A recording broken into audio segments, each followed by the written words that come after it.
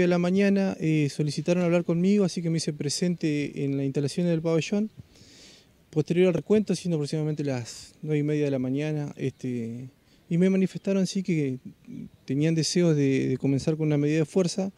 Se les comentó el alcance de la medida de fuerza, qué es lo que querían llegar a, concretar con la misma, este, y también nos comprometimos con los internos a atenderlos de a uno en las instalaciones de la División de Tratamiento Correccional, de manera que podamos tener toda la, tramitación de su causa y de esa manera poder tener más datos sobre el reclamo que, que ellos realizaban. ¿Se trata concretamente de una huelga de hambre?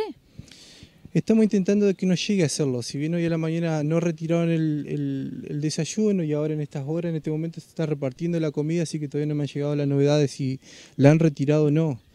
O sea, intentamos de que no llegue a huelga de hambre para, eh, o sea, ahondando y analizando cada una de las causas porque el eje del reclamo es justamente una, dilación supuestamente de cada una de las causas o de algunas causas de los 45 detenidos que están en ese pabellón. ¿Y cuál es el pabellón concretamente y cuál es la característica del mismo? Bueno, estamos hablando del pabellón número 12 este, y la característica principal del pabellón es que dentro del mismo hay, la mayoría son internos que, que se encuentran alojados en esta unidad por causa federal.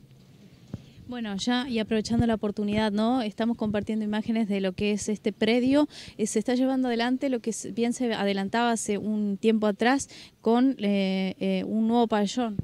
Sí, justamente como se está observando ahora, seguramente está tomando la imagen, al fondo de la unidad penal se está construyendo un pabellón nuevo, digamos, y la idea o, el destino de tal pabellón es para un poco tratar de, mejorar la habitabilidad, tratar de mejorar las condiciones de habitabilidad de cada uno de los detenidos y de cada uno de los pabellones.